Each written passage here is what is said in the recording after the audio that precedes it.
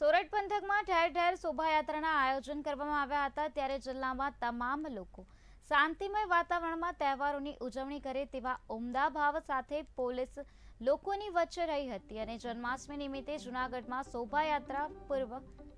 જિલ્લા પોલીસ વડા હર્ષદભાઈ મહેતા દ્વારા પોલીસ ફ્લેગ માર્ચનું આયોજન કરવામાં આવ્યું હતું અને સાતમ આઠમના તહેવાર પહેલા પોલીસ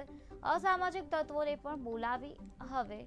કોઈ ગુનાહિત પ્રવૃત્તિઓ ન થાય તેવી ચેતવણી ગુનેગાર લોકોને આપવામાં આવી હતી.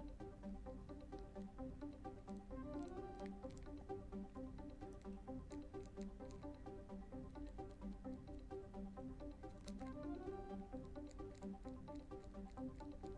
you.